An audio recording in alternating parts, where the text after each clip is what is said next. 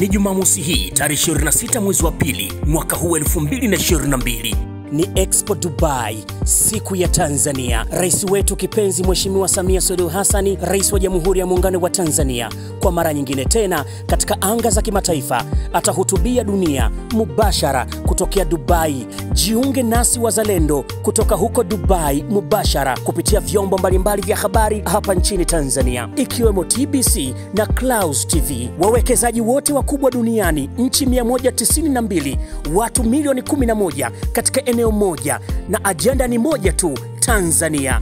Tunaifungua nchi kitaifa na kimataifa. Sisi ni wazalendo. Sisi ni wazalendo.